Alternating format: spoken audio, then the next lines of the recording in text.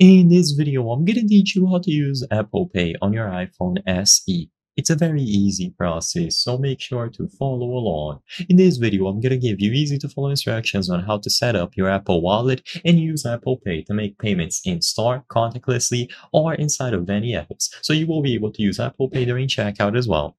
All that you have to do is first set up a payment method on your wallet. So you can either go over to settings and choose wallet and Apple Pay to make sure that it is enabled and choose the add card option or open the Apple Wallet application. In there, tap the plus sign and choose the option to add a credit or debit card.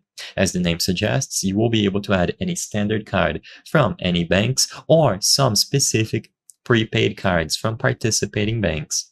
So just follow through the on-screen instructions. You will be able to type out the full card number, expiration date, and security code. Alternatively, you might also get the option to scan the camera, scan the card with your camera. This way, everything is going to be automatically filled out.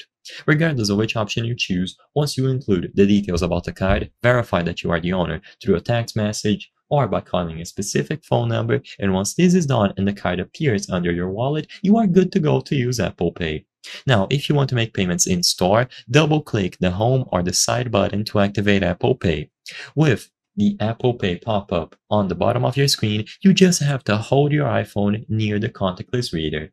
Immediately upon placing your phone physically in contact with the card reader, it is going to go through and the card that you selected will be used to issue this payment. And you can repeat this as many times as you wish. Authenticate with Touch ID if prompted.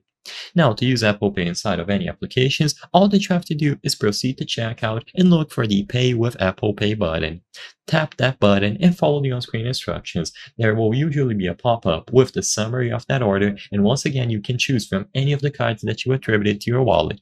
Authenticate with Touch ID once again if prompted, and you will be able to purchase anything digitally with Apple Pay as the payment method. I hope I was able to help you on how to use Apple Pay on iPhone SE. If this video helped you, please be sure to leave a like and subscribe for more very easy tips. Thank you for watching.